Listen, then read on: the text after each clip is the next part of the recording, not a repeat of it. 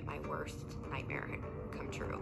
A family is in shock after a mother and daughter went on a camping trip but never returned. Here I am at home, wringing my hands, wondering where my daughter's at. He was, I would say, devastated.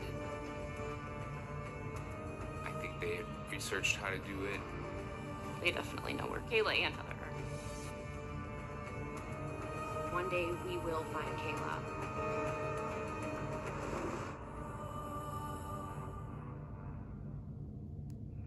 Someday, Kayla will grow up and she will remember that she was lied to.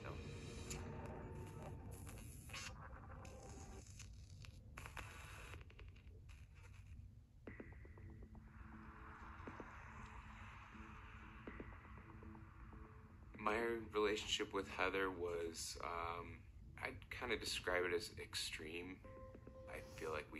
Somewhat of a infatuous love for one another, and it kind of led to some problems. You know, the first time I saw my daughter back from the hospital, Heather told me she wanted to break up with me. I just kind of thought that was ridiculous. He went from being extremely happy to being extremely depressed. I remember how heartbroken he was. When our relationship ended, we didn't have any sort of custody in place. Heather didn't really want Ryan in Kayla's life. She was always uh, very difficult. She's very controlling. Kayla was never allowed over to our house. We always had to go somewhere public. She and her mother always blamed Ryan for um, ridiculous things.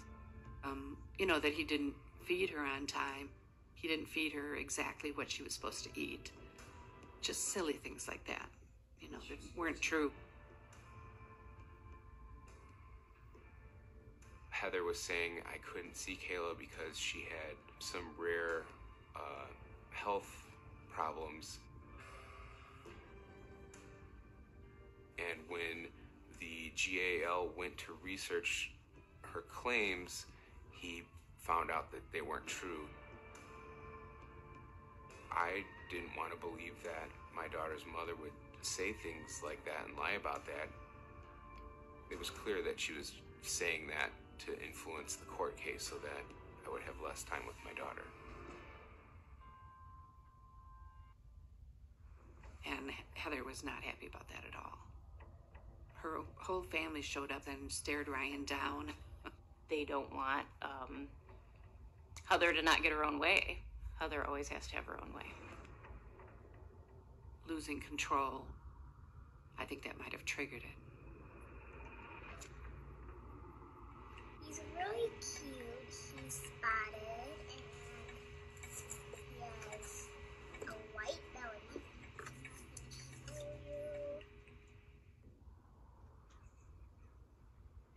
I went to go pick Kayla up because uh, she had an extended weekend with Heather. Heather's father came to the door and he just kind of had a big smile on his face and said, Oh, yeah, they're not here, they're camping. And I said, You're kidding me. They, she knows I'm picking Kayla up. And he's like, Yeah, sorry. And then he just closed the door. That's it. That was the moment that he'd been dreading because he always thought that was a possibility. That she could just, you know, run off with her. My daughter was gone and I knew it. A family is in shock tonight after a mother and daughter went on a camping trip but never returned home. I basically had filed uh, missing persons for both Heather and Kayla immediately, but there's like a basically a grace period before they would do something about it. And the weekend comes and it's like everyone went home and to their families and here I am at home, you know, wringing my hands wondering where my daughter's at.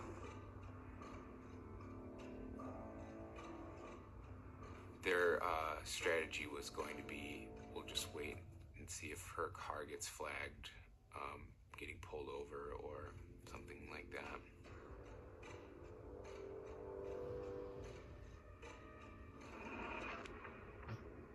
They had found out that her car had been sold in Georgia like uh, a week or two later after the abduction. The search for Kayla Unbehaun has now moved to Georgia.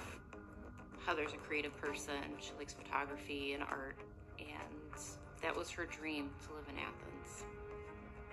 I think she's always been a little extreme in the way she has wanted to live her life. Definitely seems like something she would be interested in doing is She may even be with her brother who um, also disappeared.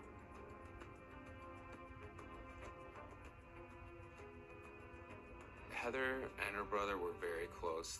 In fact, he moved to Georgia before she did originally. I think it's really hard to just disappear and go off the grid completely without some sort of plan.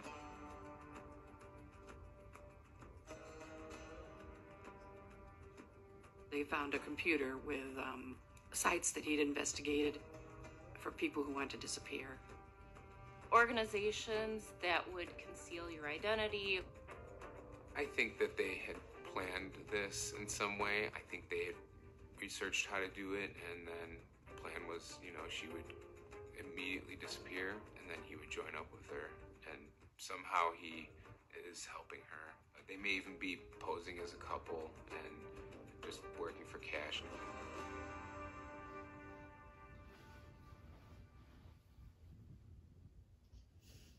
I think they're just living a transient life. I don't even know if Kayla's going to school at this point because they're on the run.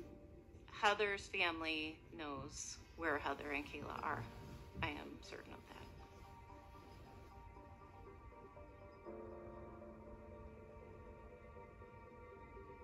One day we will find Kayla. Kayla, we will always take you back. We will always love you for who you are, no matter what happens. Peekaboo. Peekaboo.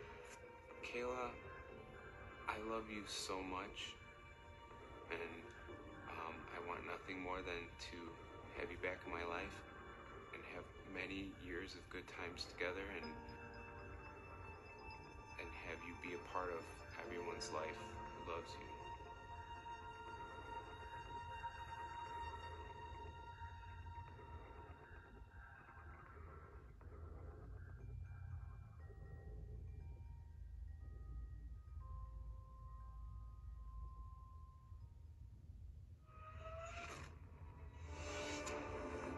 I don't think there's one situation as unique as this particular situation. Everybody's a suspect in my eyes. Everybody. We've had sightings all the way to Texas. Just give us back our kids. Somebody out there knows where these children are.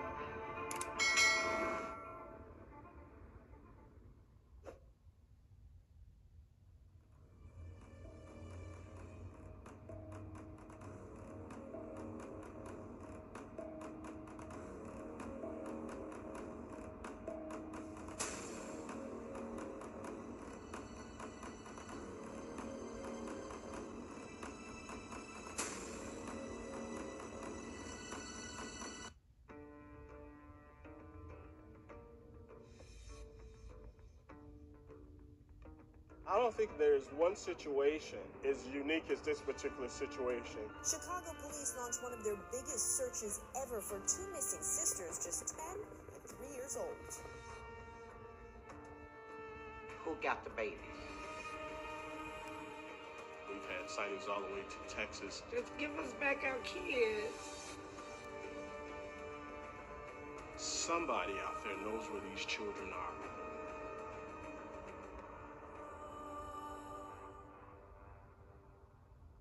Won't give up. And even if I happen to die before then, my spirit ain't leaving. I'm gonna haunt your ass forever.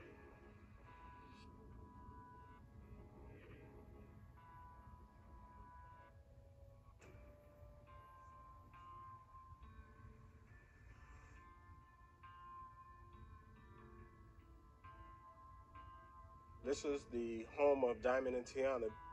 These two youngsters was three and ten years old. This is the area that Tracy decided to bring and raise her family. This is one of the parks where the kids actually played at. Um, as you can see, it's a, it's a park uh, within a gated fence community. Uh, it's right there where their home is. Uh, it's just a short step away from the doorway. But in July of 2001, something happened to these girls. Two young children have been reported missing from the south side of Chicago. I'll never forget.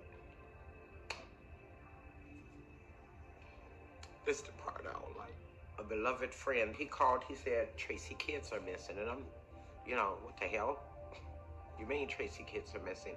And I turned to Channel 9 and there were Tionda and Diamond pictures. Yeah. On, on the TV.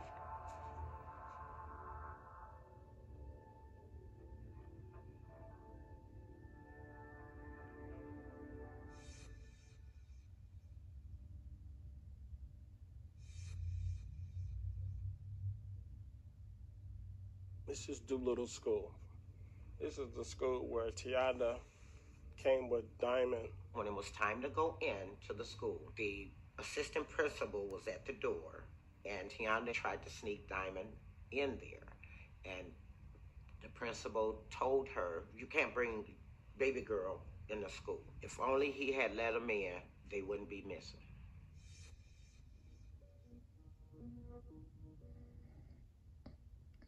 It's my understanding that Tracy attempted to call home to do a, uh, a well-being check on the children, as she does always. Tionda received a call at an unknown time saying there was an individual by the name of George at the door. Well, I still have to find myself asking which George. She didn't say a last name. She said George. Tracy arrived home from work. She called out for her children. There was no response. Upon going over to the sofa, she noticed there was a note. It stated that Tionda and Diamond had actually went to a local grocery store into the park. But for Tionda to leave a note was kind of suspicious because she would not have left a note. The grammatical structure um, and the sentence structure was not the way Tionda spoke. So we found out to be kind of strange.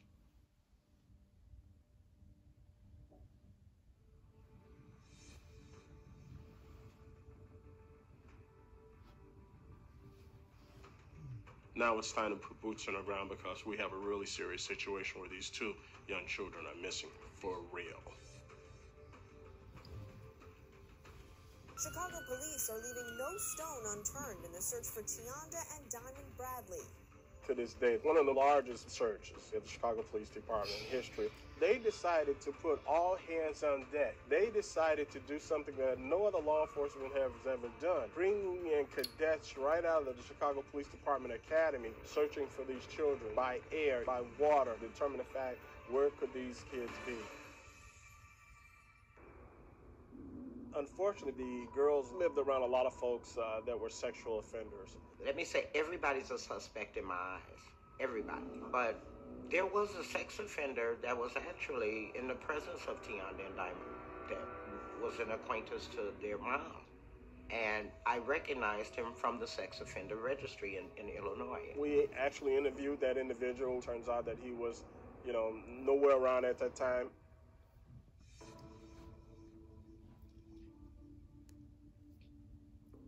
Tip that did come out of Texas with a young lady sent out through the girl's Facebook page uh, that, uh, hi, I'm Diamond and Tionda. I got a message saying that, um, Auntie, this is Tionda. And I'm like, okay. But then the girl started sending pictures of a little baby, saying it was Diamond's baby. We sent the FBI down there to take a closer look at it. Upon interviewing the young lady, we found out that this young lady was suffering from some mental illness.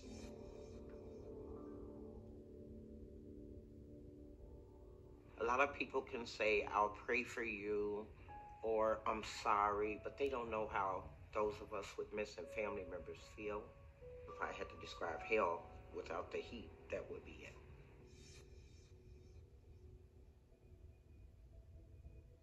Oh, thank God for Facebook. I had put up a post with Tionda's last school photo, and four different people contacted me. And these were little three girls that she went to school with.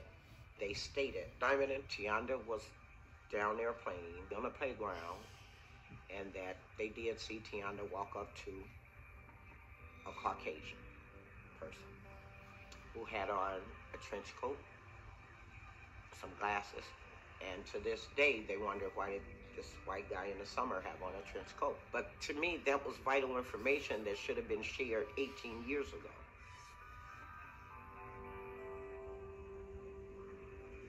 It's our understanding that somebody returned back to that apartment and took possession of those children.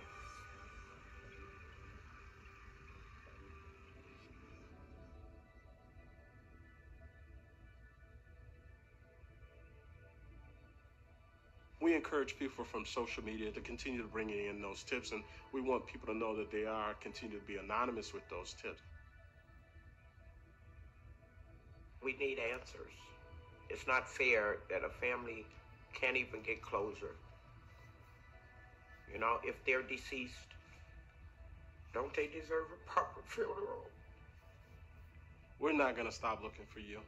And if it takes my grandchildren to find these children, that's what we're going to do.